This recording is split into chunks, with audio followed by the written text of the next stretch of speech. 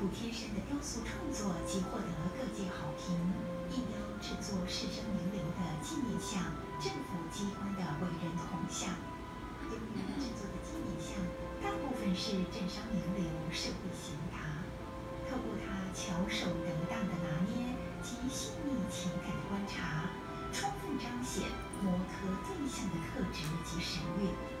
此时其代表作品之一《沉思者》有异曲同工之妙。这类早期作品也奠定普天生在雕塑界的地位。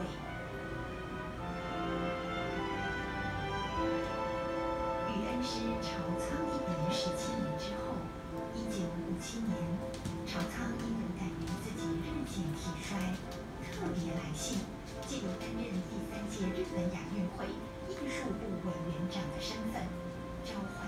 生以出国考察的名义前往日本两年，食宿皆由朝仓老师负担，并倾囊销售雕塑技艺，再次开启普天生的创作事业。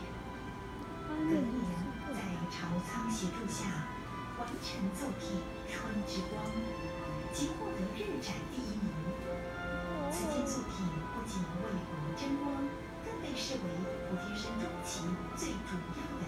代表作之一。所以我们可以看得到大师的眼光，他一定器重他的徒弟，而且他的徒弟一定可以不负他的所望，在台湾这边可以开花。